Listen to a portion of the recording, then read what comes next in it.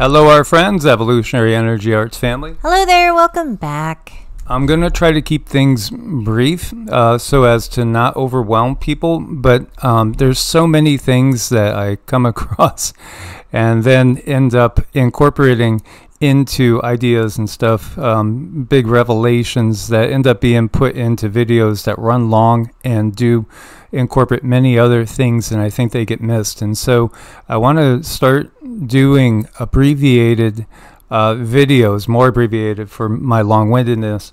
As I'm trying to explain to you what I'm doing in a very long-winded manner, it's just me, um, and and giving you uh, little bits and blurbs that maybe you can share with others.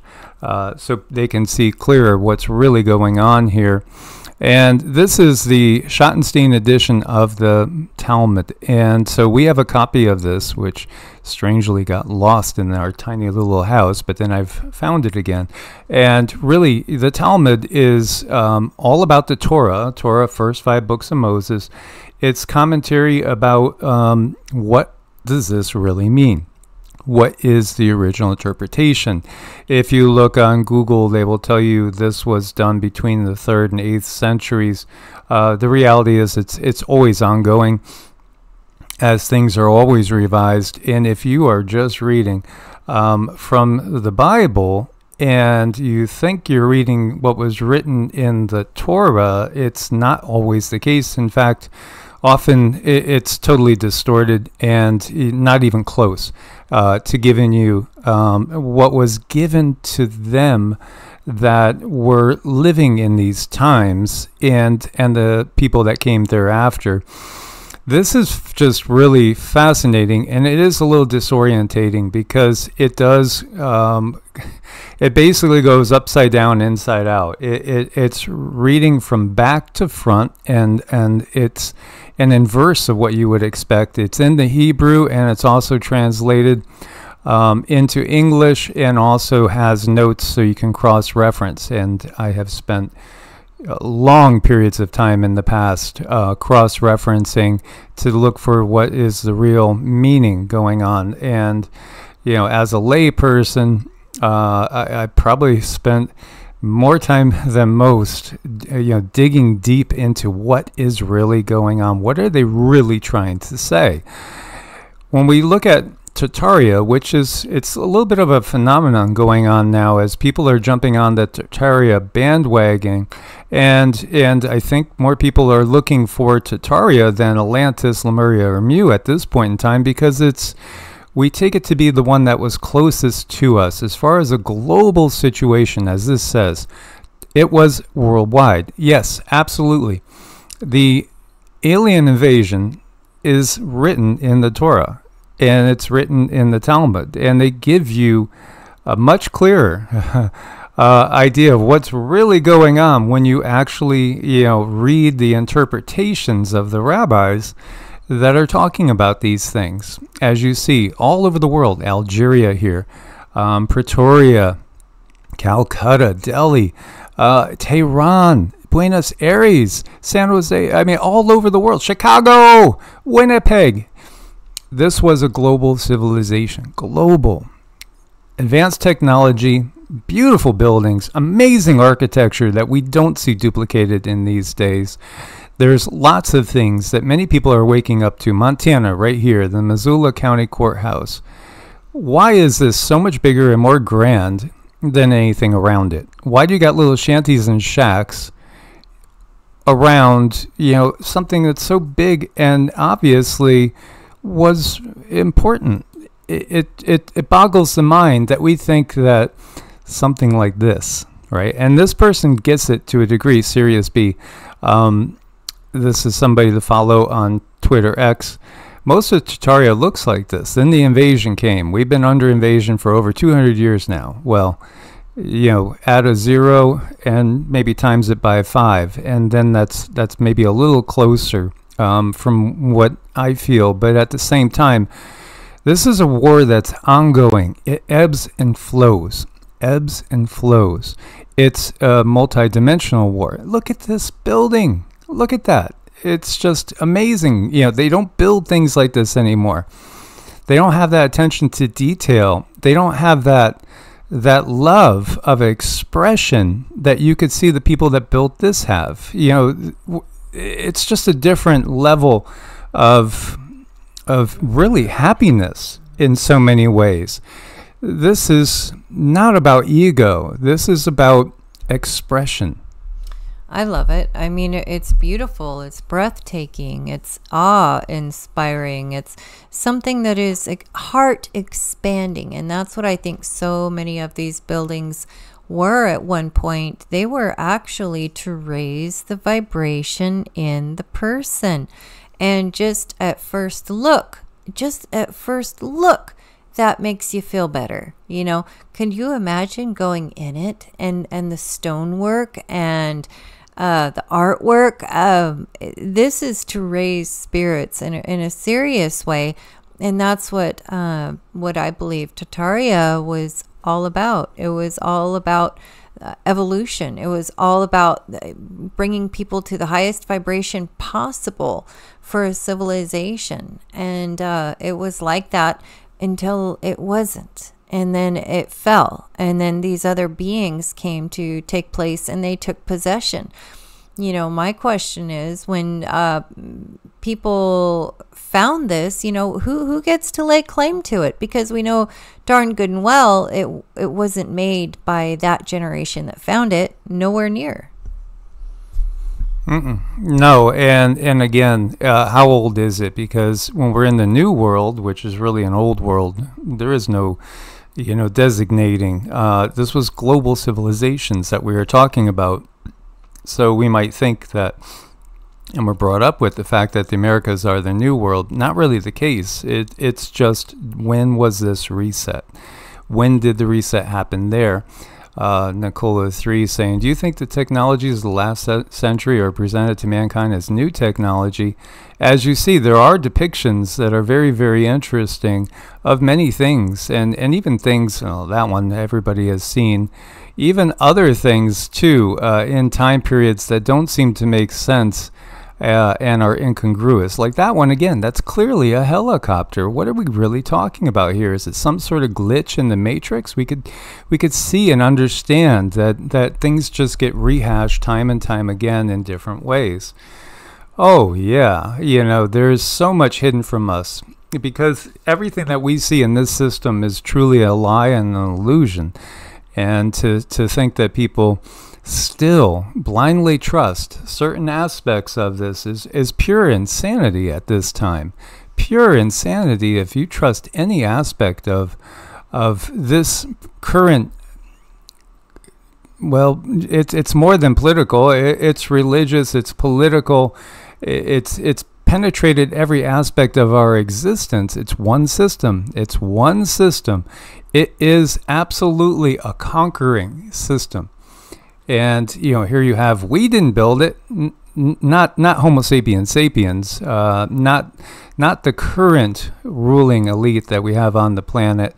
Uh, and no, and and the root the root of elite is el, which is a, a word that has been used to denote uh, beings called gods, which again are, are not gods. They're they're not gods, or you could say they're not the creator of this universe. No, absolutely not the creator of this universe.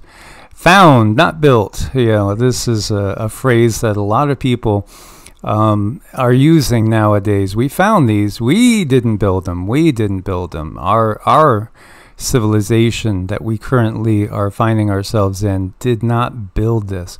But you know what's fascinating is the fact that when you when you look into the Talmud, you will find that there's there's words used there, choice words that are not the choice words that we find when we look at the King James Bible, when we look at the New International Version of the Bible, any of these versions.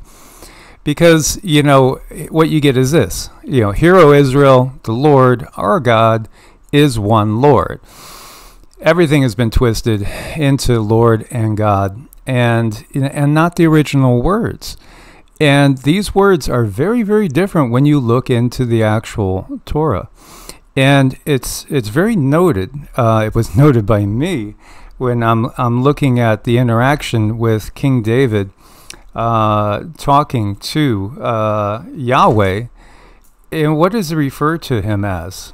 He refers to him not as the creator. He does not say, "O creator of this universe." No, master. Master.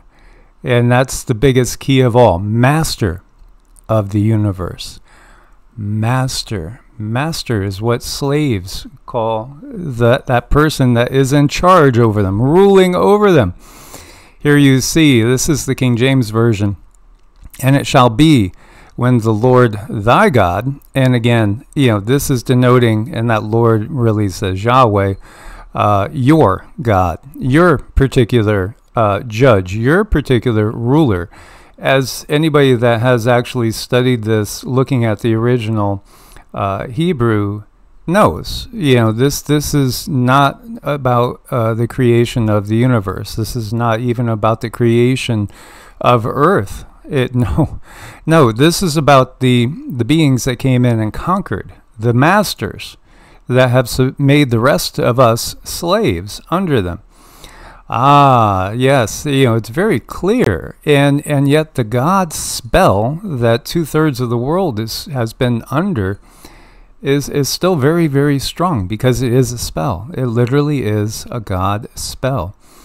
Uh-huh. Have brought thee into the land which he swore to your fathers, to Abraham, Isaac, to Jacob, to give these, you know, great and goodly cities, which you didn't build, which you found Here you go.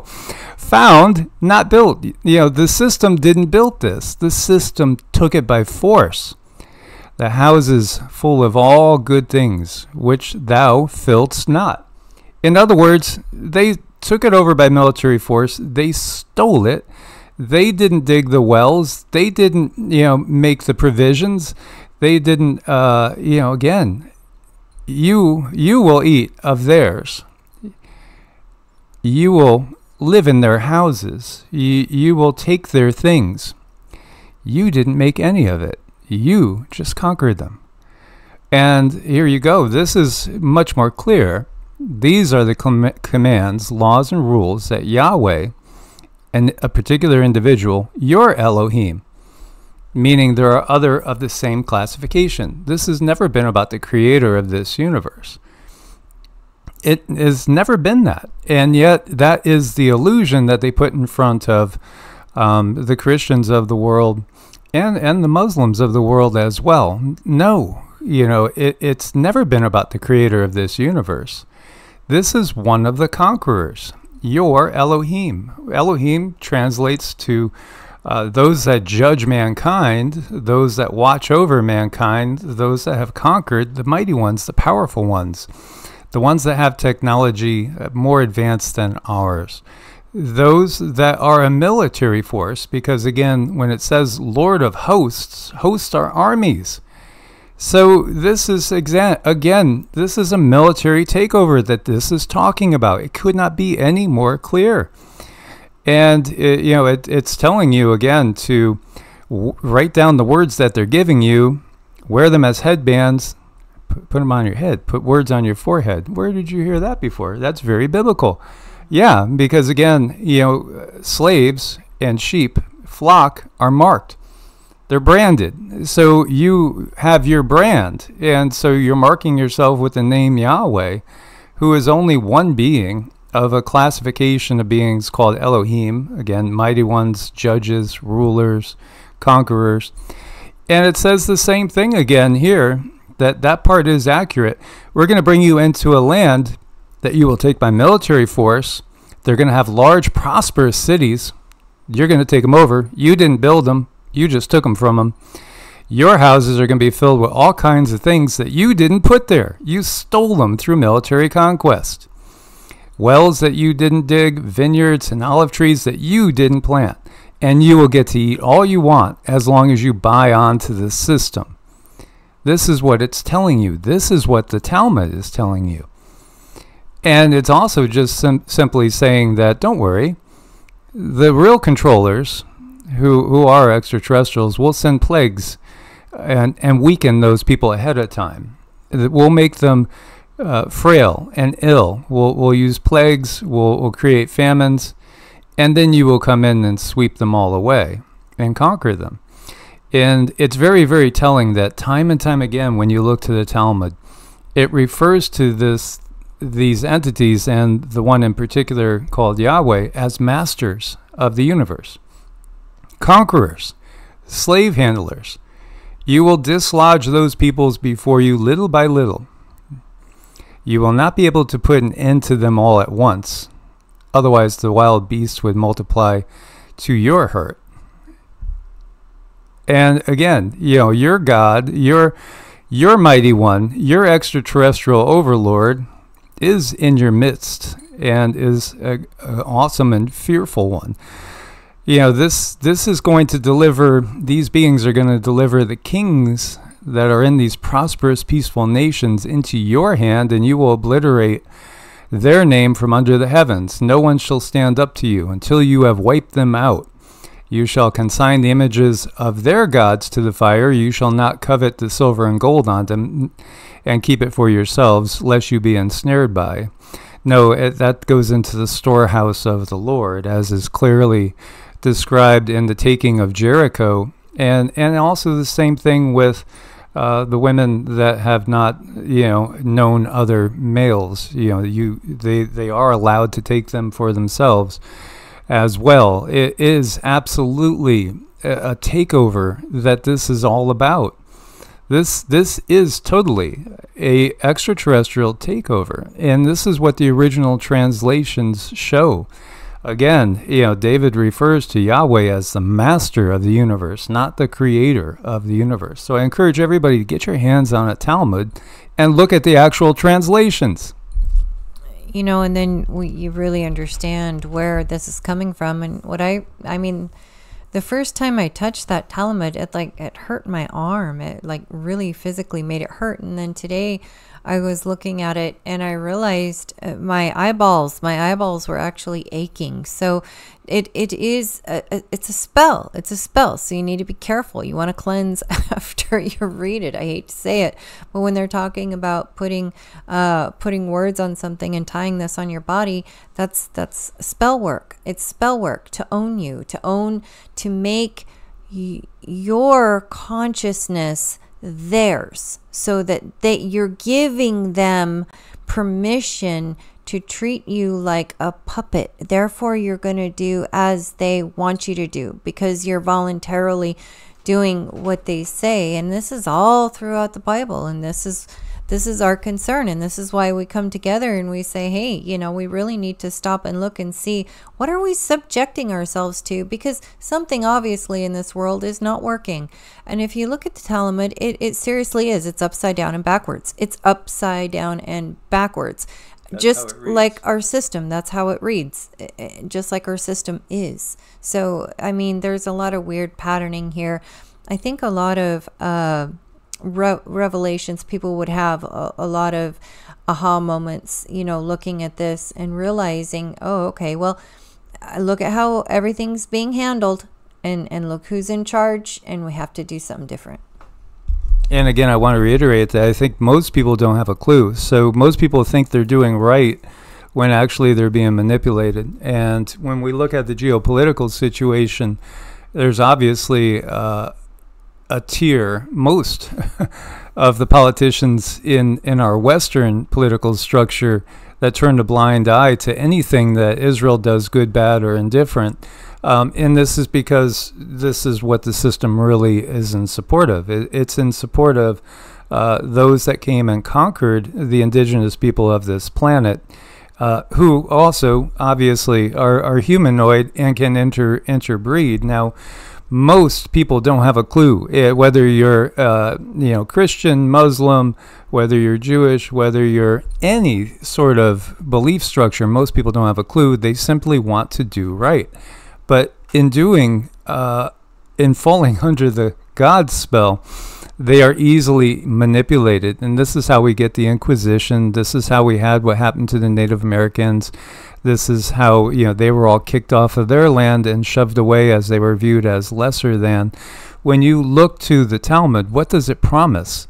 It promises fame and fortune. It, it promises that you will be elevated above others, that you will be admired, that you will have you know all your needs fulfilled. This is exactly what the Illuminati um, offer people when they try to get them to come on board. This is exactly what Satan offered to, to Yeshua in the biblical story. Everything could be yours. Well, this is exactly the system showing what it really does. And the words literally, again, say, they literally say, you will be elevated in status. The, the world will admire you. The world will, you know, look to you because you are part of the elite that oppresses everybody. And this is the reality. So, just a quick line of thought on that. Look forward to your comments as always. Thank you for your support. Uh, help us, you know, by spreading these things, and you know, look for yourself. Look for yourself. Get into um, this and really, really see what it really, really says. It's not about the creator of this universe, it's about the masters. The Lord of hosts is the Lord of a army. You know, that's what it really, really translates to. This is a, a military takeover. When you look to these beautiful Tartarian buildings, you know, those are remnants of our heritage that has been wiped out by the system and by the indigenous, you know, people that were on this planet uh, that has been taken over slowly but surely, and it is a battle that's still ongoing. It's thousands of years o- old, and it's not over yet. the The whole difference is in this time, we're starting to realize what's going on. Source bless and namaste. Namaste.